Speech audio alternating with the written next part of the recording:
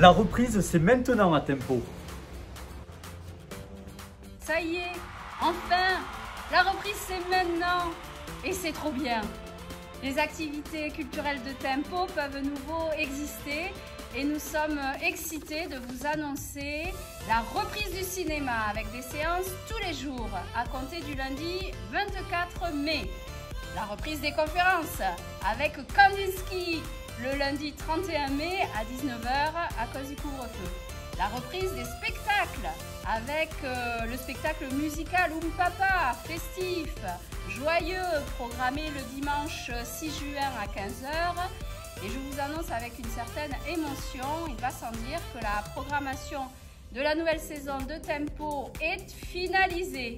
Je vous donne d'ailleurs rendez-vous pour découvrir en exclusivité et en avant-première le lundi 28 juin à 19h30 lors de la soirée de présentation officielle. Vous serez un VIP.